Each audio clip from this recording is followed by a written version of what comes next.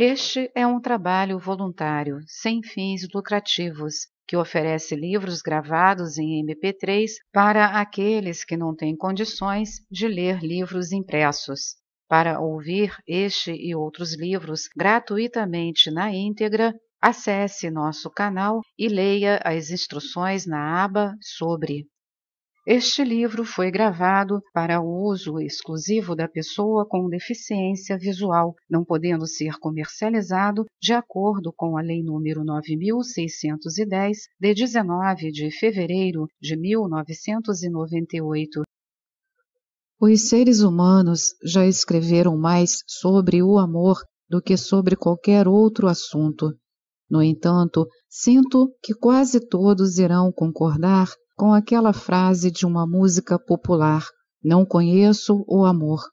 Nas décadas de 1970 e 1980, havia um senador dos Estados Unidos chamado William Proxmire que costumava ridicularizar alguns temas esotéricos de estudo que às vezes são escolhidos por pesquisadores. Lembro-me de que ele desdenhou uma pesquisa sobre o amor romântico que uma pessoa iria fazer. Para esse senador, provavelmente, o amor nada mais era do que uma dessas coisas embutidas em nossos genes. O amor, para ele, devia ser um epifenômeno. Por que perder tempo com um epifenômeno quando há fenômenos reais como educação infantil e alimentos para os pobres? Assuntos como estes podem receber verbas sem seus autores serem ridicularizados. Sim, essas coisas também são importantes, mas sem o amor, onde estariam? O outro lado dessa realidade é que as pessoas que pensam no amor como algo importante também não veem por que o amor deveria ser um assunto adequado para a ciência. Pelo menos concordariam que o amor é uma assinatura de Deus. Onde está o amor, está Deus. Deus é amor, diriam alguns. No entanto, qual é a assinatura do amor? O amor é sexo, sentimento, pensamento, tudo isso ou nada disso? O amor é uma expressão, é sussurrar eu te amo ao ouvido de alguém com voz romântica? O amor é aquela deliciosa sensação de calor no coração? O amor é algo além do sexo, do pensamento e até de emoções? Ou o amor estaria além do além e nem seríamos capazes de falar dele? Creio que com a nova ciência em nossas mãos podemos falar do amor. Podemos provar que o amor existe no sexo e além do sexo, em palavras e além de palavras, em sentimentos e além de sentimentos. E podemos encontrar as assinaturas do amor, e isto é importante, porque elas podem nos dizer algo sobre as assinaturas indeléveis do divino. O amor é um arquétipo. Em páginas anteriores, mencionei que as funções biológicas são arquétipos no domínio supramental de nossa existência. Uma dessas funções é a reprodução, uma função que, com a intermediação de um projeto vital, é representada fisicamente nos órgãos sexuais masculino e feminino. Depois, há outra função biológica, a distinção entre eu e não eu, o arquétipo da distinção entre self e o mundo.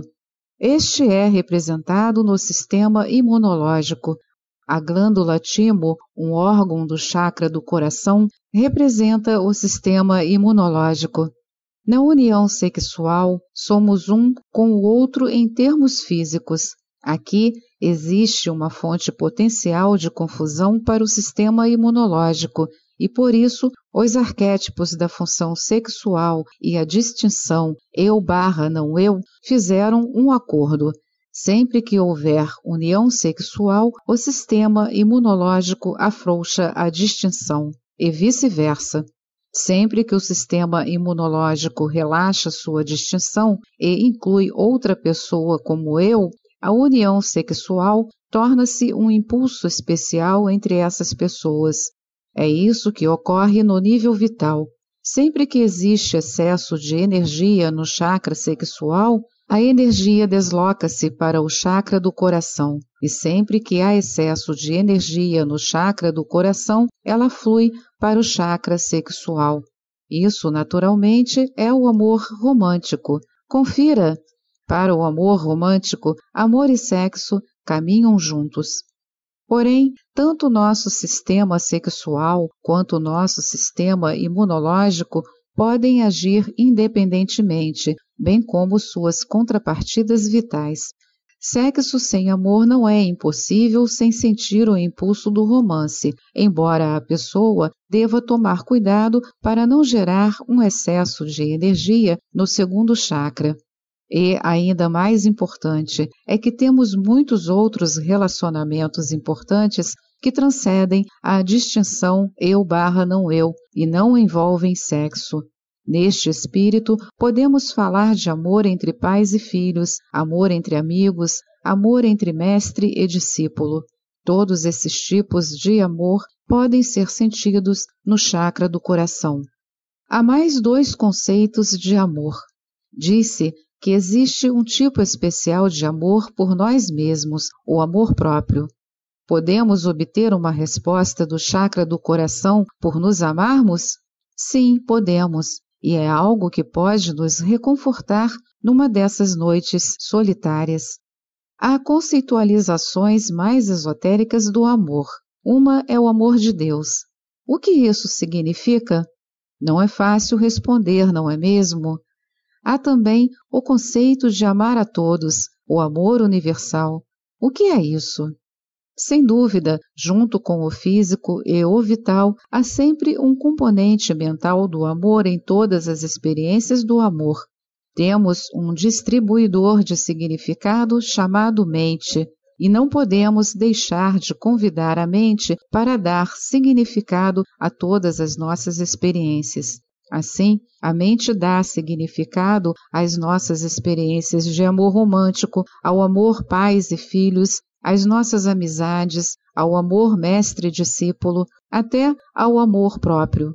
Todos têm um componente vital, mas somente o amor romântico tem um componente sexual, no qual os componentes neuroquímicos do cérebro desempenham importante papel. O que há de especial sobre o amor de Deus e o amor universal?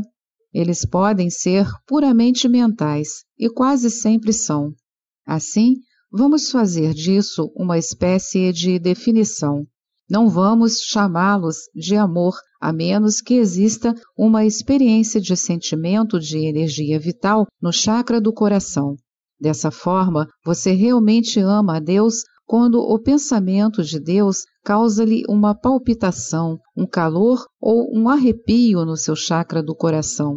E o mesmo se aplica ao amor universal não é uma transa da mente, é justamente quando o pensamento da humanidade, um ser humano ou mesmo um ser senciente, aquece o seu coração. Aparentemente, estamos chegando em algum lugar. Sempre que existe uma emoção no chakra do coração, junto com pensamentos de amor, existe amor. Agora vamos perguntar: sabemos o que é amor? De maneira operacional, sim, quando há energia no chakra do coração. Esta é, então, uma assinatura do amor.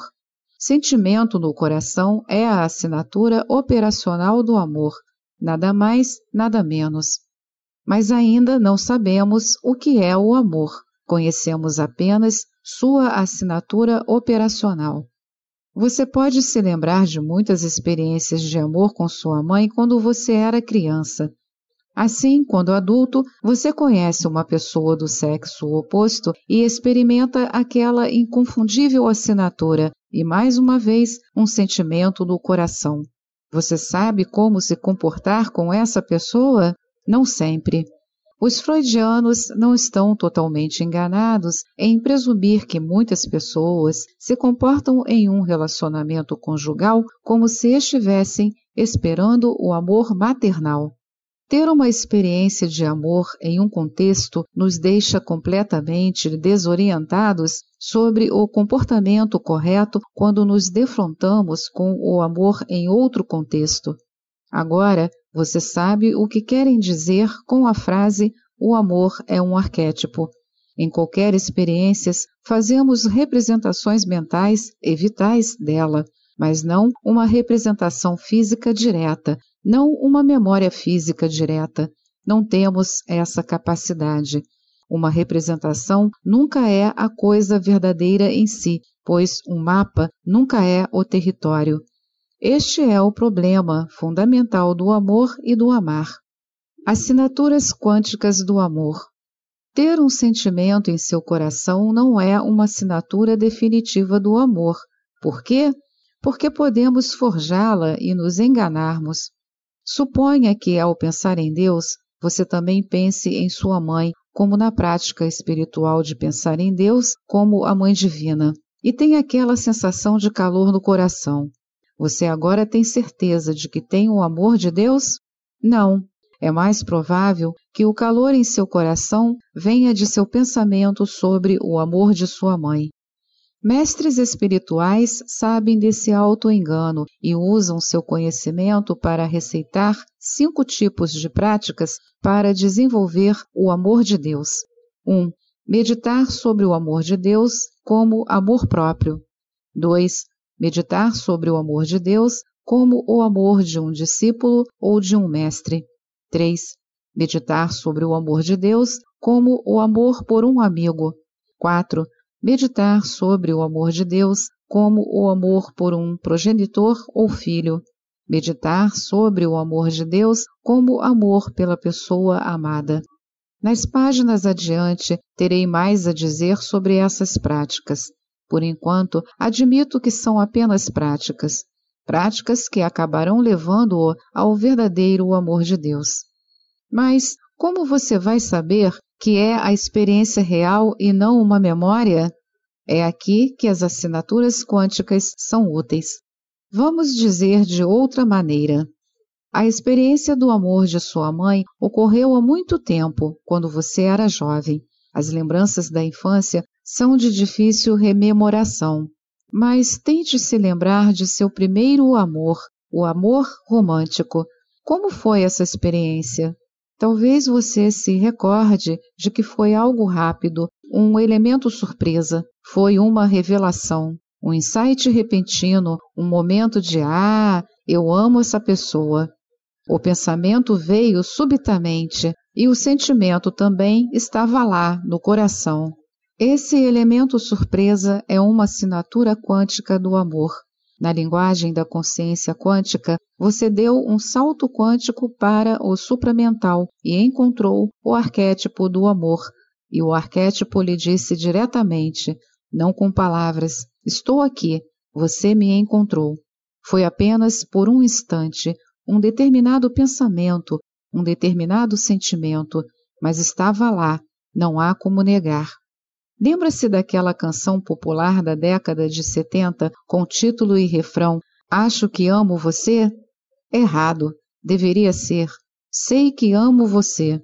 Experiências arquetípicas nos dão determinado conhecimento, mas, sem dúvida, é preciso um salto quântico de nossa mente para chegar lá. No entanto, por causa dessa certeza, vale a pena. Mas cuidado, mais uma vez, não seja vítima da ideia de que de agora em diante você sabe o que é o amor romântico. Você não sabe.